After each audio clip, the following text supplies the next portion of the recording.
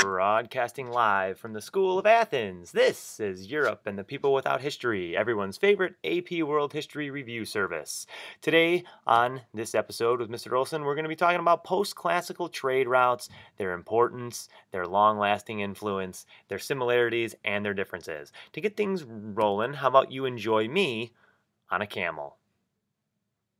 All right, so uh, there are several essentials about trade that I want you to keep in mind, and I bet if you're in any AP World History class, you're probably sick about your or sick of your instructor talking about trade. So here are some uh, key things that I want you to keep in mind uh, throughout this presentation for the entire year. First of all, trade has always been going on. Trade was a thing before the Silk Road.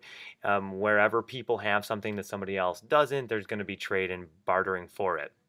So to think that trade just automatically poof appears in 600 CE, that's not not the case. It's always been going on. People have been interacting for a long time. Okay, goods travel much further than merchants do. So usually along the Silk Road first, we see that, that the goods are traveling um, from stop to stop to stop with different merchants. Much like goods today, uh, a T-shirt in today's world is going to see much more of the earth than uh, humans will.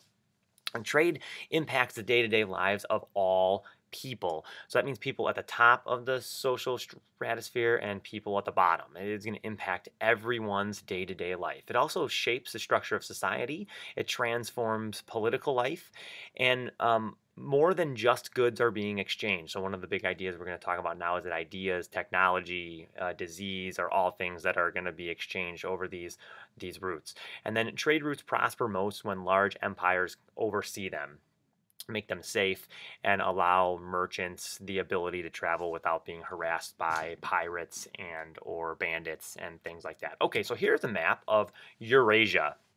Eurasia is a term that if you're not already familiar with it, you should be. It means Europe and Asia.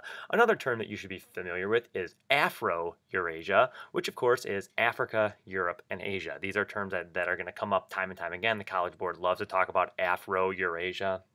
So you're going to have to know what they are. Okay, so um, as you can see, the Silk Road, quote unquote Silk Road, was not one road, and it certainly wasn't made of silk. It was a network of trade routes that included also water. But you can see that the, the water routes weren't that extensive. It, it, it didn't include Africa yet. We'll start to see when that gets enveloped. But when we talk about the Silk Road, usually we're thinking about what was going on over land and the trade that embodied mostly silk. That's of course why it gets its name. Okay, so to talk about uh, the, Sil the Silk Road, let's discuss first what it's connecting. It's connecting Asia and Europe.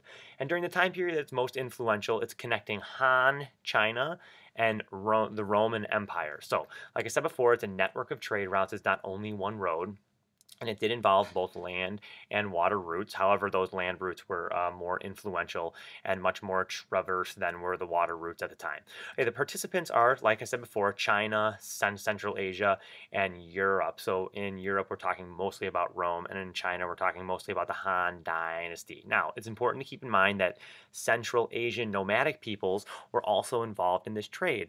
Why are nomads good traders? Well, they're good at moving around, and they're especially good at moving a lot of stuff around, which they do by nature of their life. So um, those people who live in the Eurasian steppe are super influential in this trade net network. Okay, goods that were exchanged, obviously silk. Silk was a luxury item uh, that was coveted by the Ro Romans. If you know anything about silk, it's spun from um, this substance that's secreted from silkworms of mulberry trees and the Chinese held it closely and guarded it as a, as a state secret for many years. And as a result, it was in high demand and was very expensive for other people to buy because they couldn't make it.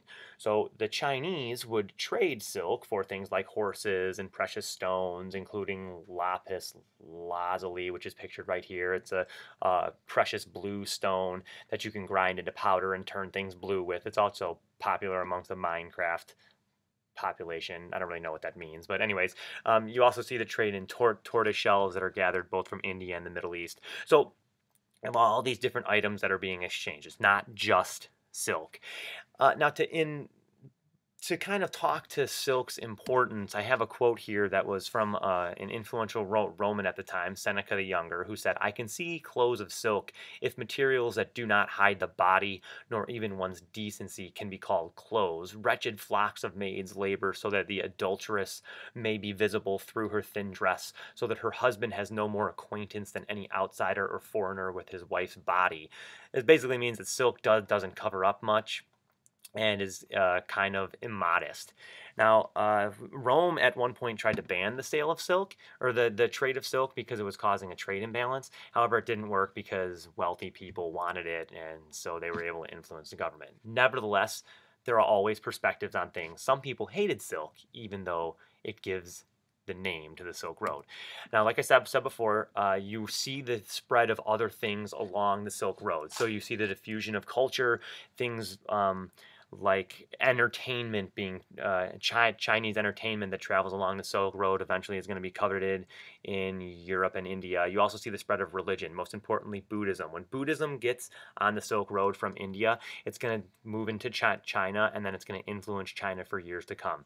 One thing that's not listed here that that uh, you're going to want to make note of is that disease travels along the Silk Road. The bubonic plague travels from China and it will eventually cripple the Byzantine Empire in the 500s another example of something that's a non-material item that travels along the Silk Road. So that's going to bring the Silk Road to an end. And now let's talk about the sea roads of the Indian Ocean. If you look at that map, you will see figured prominently in the ocean are the arrows that indicate the monsoon winds that make the Indian Ocean trade um, as reliable and effective as it was.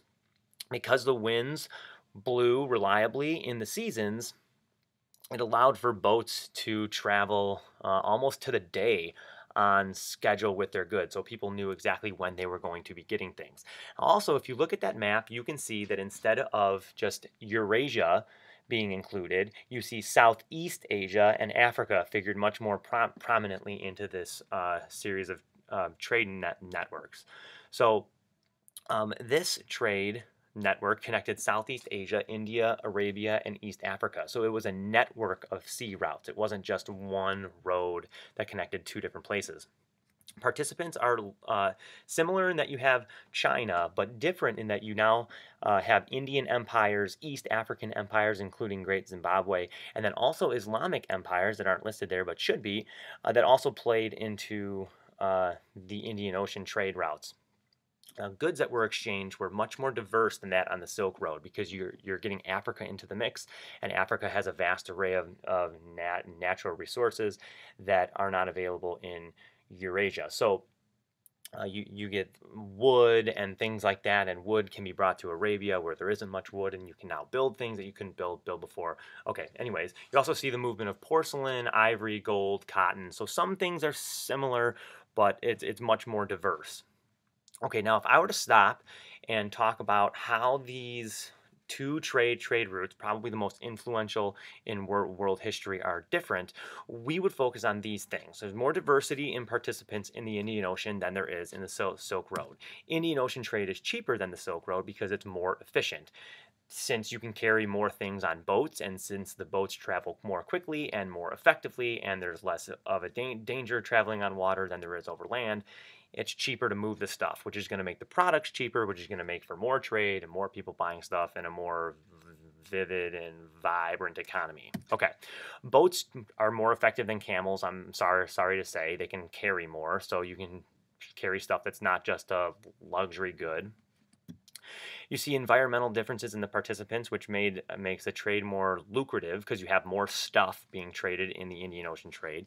The Indian Ocean trade is accelerated by the emergence of Islam and Islamic empires um, near the Arabian Sea that help facilitate and keep safe this Indian Ocean trade. Also, Indian Ocean trade contributes to the emergence of city-states throughout the region.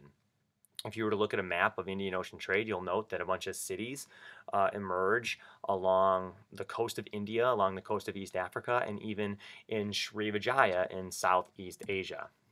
here are ways that it's similar to the Silk Road. There are similar goods being exchanged, always. Uh, of course, gold is going to be uh, figure into both of them. You see the spread of culture and religion.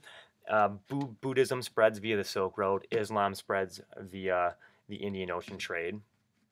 Is also stimulated by powerful empires, which we, we said that about Islam before, but it also is improved by technological advancements in things like better ships or better ways of riding animals. So the camel, there are 15 different ways to saddle up a camel, and every saddle innovation means that trade is going to be made more efficient. Okay, here's a map of the Indian Ocean, and you can see if you if you didn't believe me up until this point that Islam makes its way from the Arabian Peninsula into parts of India, into parts of South, Southeast Asia, and into parts of East Africa. So, like the Silk Road spread Buddhism, the Indian Ocean trade is going to spread Islam. Now, the third and final trade route to be discussed here is that of the Trans-Saharan. So if one were to take a look at Africa, you will note that its geography is dominated by greenery in the middle and desert at the top and at the bottom which means if goods are going to be traded between Europe, say, or the Middle East and the inhabited parts of Africa, the mo mostly inhabited parts of Africa, it's going to have to go across this Saharan desert. That's the reason we get the trans-Saharan trade routes. They look like that, and you can see that it connected the people in North Africa, sometimes called the Berbers, to the people who lived in sub-Saharan Africa, the great African kingdoms of Ghana, Mali, and Songhai. So who do we have participating in this? Usually, basically North and Sub-Saharan Africa. So the nomadic traders who live in and north of the Sahara are going to be trading with the major African empires here in Sub-Saharan Africa. Um, so we have these no nomads and the empires. Okay, the goods exchanged, gold and salt. Salt is plentiful in the Sahara Desert because it used to be an ocean, and therefore there are salt deposits there, and gold is plentiful in, in the Sub-Saharan African re region. That's why uh, empires like Mali and Mansa Musa were so influential and rich. Okay, so the significance of these trade trade routes and why you need to know them. It connected North Africa with Central Africa, which means that it's eventually going to connect Central Africa with Europe. It also allows for the diffusion of Islam. One of the important things to keep in mind is that those sub-Saharan empires adopted Islam largely because of these trade routes. Now, it also has the exchange of val valuable goods, which allowed for empires to, to grow. We see that in those West African empires. And then it also brought West African gold to Europe, which will eventually bring them out of the Dark Ages and allow for the Renaissance. So, those are post classical trade routes, and that is how we reach nirvana. This is your Buddha, signing off.